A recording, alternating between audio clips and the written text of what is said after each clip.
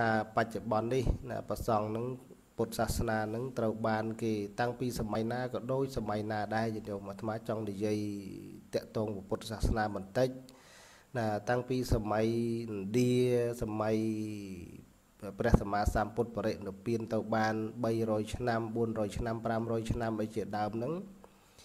ក៏មានការចំណែនឈ្នាននេះណាអំពីសាសនាដតីអំពីបុគ្គលដតីច្រើន ណាឃើញពុទ្ធសាសនារីចម្រើនអីចឹងទៅបរិស័ទគោរពបូជានៅក្នុងពុទ្ធសាសនាហ្នឹងច្រើនហ្នឹងកើតការចំណែននិន្ទាឈ្នានេះអំពីណាពពួកនិក្រុនដេរដ្ឋីសាសនារតីតែងតែតាមផ្ចាញ់ផ្ចាលតែងតែតាមជាបាតពុទ្ធសាសនាណាដូចមាន ណាជាពិសេសណាស្ដេចមួយមួយឡើងមកកាន់ពុទ្ធសាសនាក៏ញ៉ាំងពុទ្ធសាសនាឲ្យរីកចម្រើនក៏ប៉ុន្តែ មានពេលខ្លះដោយសម័យក្រោយសម័យកុបតៈអីជាដើមហ្នឹងមានស្ដេចទៅកាន់សាសនារតីហ្នឹងគឺតែងតែធ្វើសង្គ្រាមឈ្នះធ្វើសង្គ្រាមឈ្នះជាដើមអញ្ចឹងទៅក៏មកកំតិចណា ពុទ្ធសាសនាគំតិចដើមពូទីព្រឹកវាយព្រះបដិមាកសម្រាប់ប្រសង់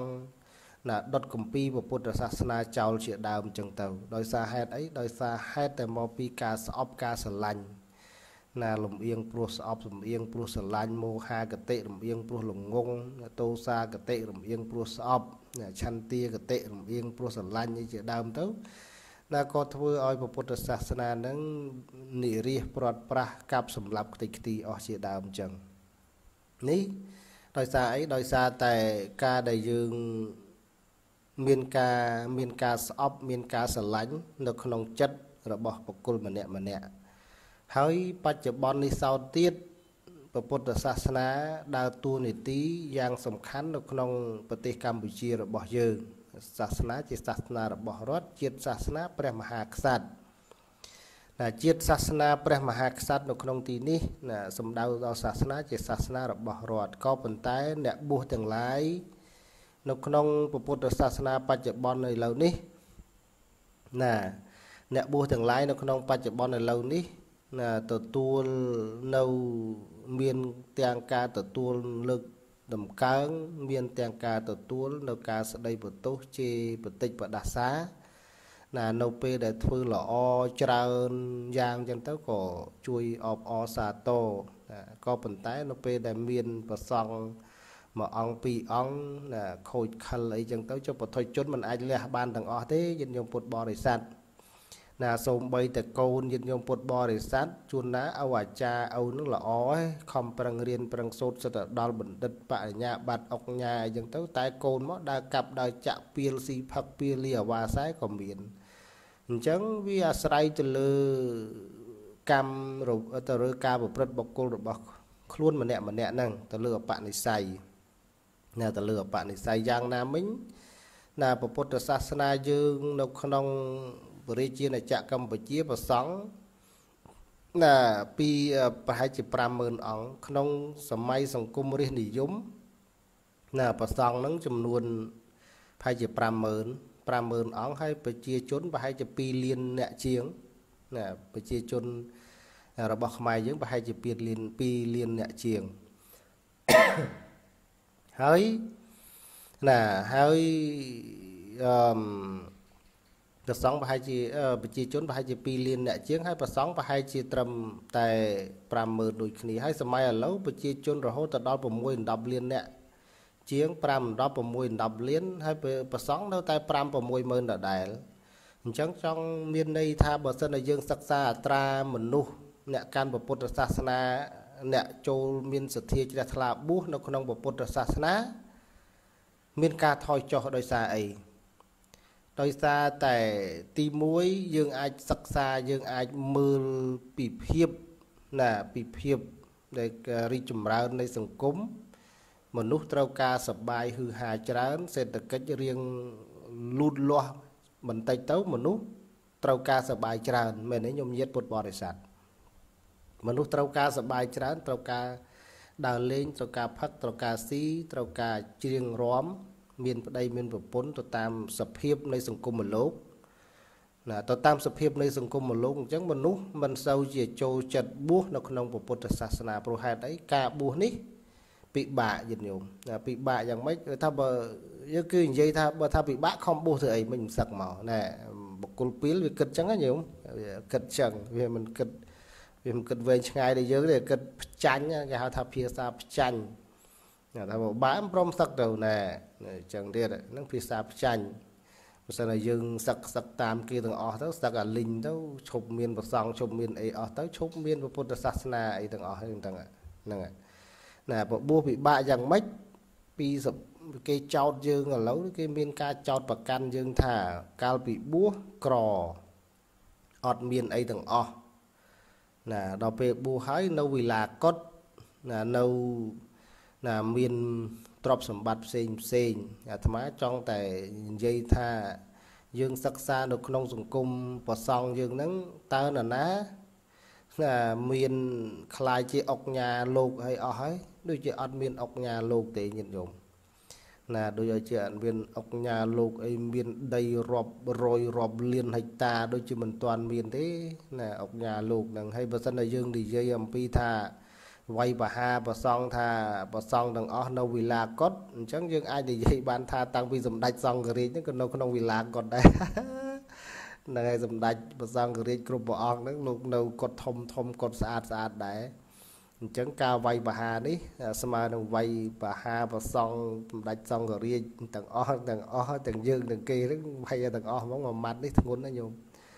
ណាអញ្ចឹងគាត់ថាប្រសងក៏ជាមនុស្សពុទ្ធជនហើយក៏ជាកូនអ្នកស្រុក បួសហើយឲ្យលោកទៅនៅក្នុងព្រៃដូចសម័យព្រះទៀតក៏មិនកើតណាមែនទេញោមញាតណាពុទ្ធសាសនាព្រះសម្មាសម្ពុទ្ធជាម្ចាស់ព្រះអង្គមានពុទ្ធានុញ្ញាត និងពុទ្ធបញ្ញត្តិណាព្រះអង្គមានពុទ្ធានុញ្ញាត គឺពុទ្ធបញ្ញត្តិគឺចង់និយាយថានៅពេលដែលប្រសងបួសហើយប្រសងគ្រប់ព្រះអង្គត្រូវតែនៅក្រោមម្លប់ឈើណាអាស្រ័យនៅក្រោមម្លប់ឈើណាដល់ពេលសម័យក្រោយមក ណាមិត្តភ័ក្តិរបស់ប្របាទមិត្តភ័ក្តិរបស់អាណាធបណ្ឌិកសេដ្ឋីគឺដូចជាសេដ្ឋីអាត្មាផ្លេចទៅឈ្មោះសេដ្ឋីនឹងម្នាក់ឃើញប្រសងហ្នឹងចេះតែណាកាលនោះព្រះសម្មាសម្ពុទ្ធមិនទាន់បញ្ញត្តិវិន័យថាប្រសងត្រូវនៅកត់ទេណាប្រសងប៊ូហើយត្រូវតែនៅក្រោមដើមឈើអញ្ចឹងប្រសងនៅតាមតែកពោតឈើគល់ឈើអញ្ចឹងទៅហើយចុះយើងសម័យយើងសម័យអញ្ចឹងនៅពេលសម័យដែលយើងគិតថា ពេលភ្លៀងមកតើប្រសង់ទៅនៅឯណាពិបាកខ្ញុំពិបាកពិបាកពេលភ្លៀងមកពេលកមុះខំអីដឹងអាយ៉ាងម៉េចទៅវានៅតែគុំឈើគល់ឈើអញ្ចឹងណាដល់ពេលសទ្ធិជាសម្លាញ់របស់ណាអាណាតបណ្ឌិកសេដ្ឋីឃើញអញ្ចឹងទៅក៏ឃើញថាហេតុអីបានលោកម្ចាស់ទៅនៅក្រោមគុំឈើនៅក្រោមដើមឈើថាអេព្រះសម្មាសម្ពុទ្ធណាអនុញ្ញាតឲ្យបញ្ញត្តិវិន័យឲ្យព្រះភិក្ខុសង្ឃហ្នឹងនៅក្រោមដើមឈើអញ្ចឹង ឃើញអញ្ចឹងក៏នឹកឃើញអាណិតលោកណាសទ្ធិហ្នឹងណាឃើញអញ្ចឹងក៏អាណិតលោកទៅឥឡូវអាណិតលោកចង់ទៅធ្វើកុដប្រគេនលោកធ្វើកុដប្រគេនលោកអញ្ចឹងក៏ណាអាត្មាមិនហ៊ានទទួលទេព្រោះព្រះសម្មាសម្ពុទ្ធមិនទាន់អនុញ្ញាតអញ្ចឹងក៏សុំពរសទ្ធិនឹងក៏ទៅសុំពរពីព្រះសម្មាសម្ពុទ្ធហើយក៏ព្រះសម្មាសម្ពុទ្ធក៏ទទួលណាក៏ទទួលពរថាសុំឲ្យធ្វើកុដ ប្រគិនប្រសងក៏ធ្វើកត់ប្រគិនប្រសងហើយព្រះសម្មាសម្ពុទ្ធក៏បញ្ញត្តិវិន័យណាក៏មានពុទ្ធានុញ្ញាតថាភិក្ខុសង្ឃទាំងឡាយព្រះអង្គបញ្ញត្តិថាត្រូវតែនៅក្រោមម្លប់ឈើក៏ប៉ុន្តែបើមានបរិស័ទណាគេជ្រះថ្លាណាមានកត់មានសាលានៅក៏នៅក្នុងកត់ជាដើមអញ្ចឹងទៅហើយយើងនិយាយអំពីសម័យមុន ណាសម័យមុនហើយសម័យឥឡូវនេះ យើងនិយាយគិតថាវាខុសគ្នាយ៉ាងម៉េច ណាសម័យមុនការធ្វើវត្តធ្វើវាមួយមួយហ្នឹងក៏មិនធម្មតាដែរយើងនិយាយអំពីអនាថបណ្ឌិកសិទ្ធិកសាងកុដថ្វាវត្តចេតពុនថ្វាយព្រះសម្មាសម្ពុទ្ធរួមជាមួយនឹងវិខុទាំងឡាយញាតិញោមគិតមើលតើលោកចំណាយធនធានប្រមាណការណាការដែលលោកជ្រះថ្លាជាមួយនឹងគុណនៃបរតនត្រ័យរហូតទៅដល់សុំទិញណាសួនច្បាររបស់ស្ដេចចេតនេះ ណានៅក្នុងទីក្រុងសាវត្ថីហ្នឹងណាហើយស្ដេចចេតហ្នឹងមិនចង់លក់ឲ្យណាស្ដេចចេតហ្នឹងអត់ចង់លក់ឲ្យប្របាទណាអឺប្របាទពំវិសាទេអត់ចង់ឲ្យលក់ឲ្យអាណាធិបតីកសេដ្ឋីទេណាអត់ចង់លក់ឲ្យទេហើយនិយាយផ្លយពាក្យគេហៅថាហិនគេថាផ្លយពាក្យថាបើលោកសទ្ធិឯងមានមាស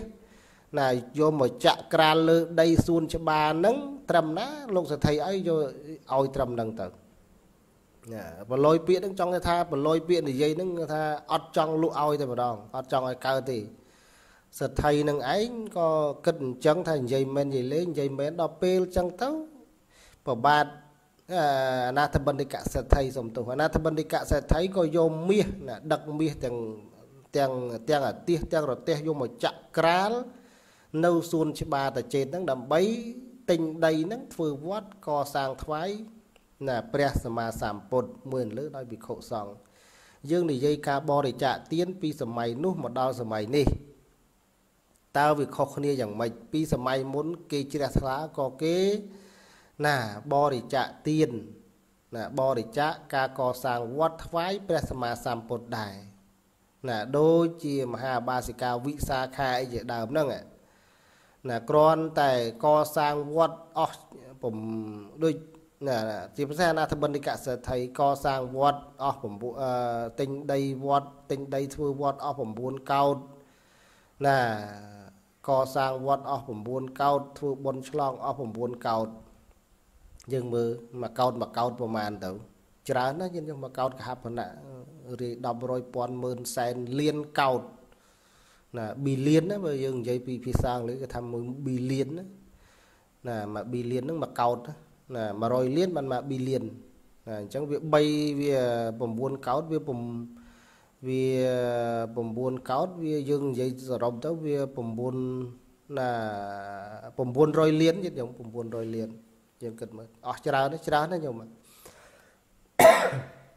ណាកសាងវត្តថ្វាយព្រះសម្មាសម្ពុទ្ធ មានសទ្ធាតាំងពីសម័យព្រះសម្មាសម្ពុទ្ធយើងមិនមែននិយាយថាំងពីដើមលោកនៅតែក្នុងព្រៃយើងនិយាយចឹងខុសហើយមានគេកសាងថ្វាយព្រះអង្គដែរតាហើយបើសិនណាពីបើសិនណាយើងសម័យឥឡូវបើប្រសងប៊ូហើយឲ្យនៅតែក្នុងព្រៃតើ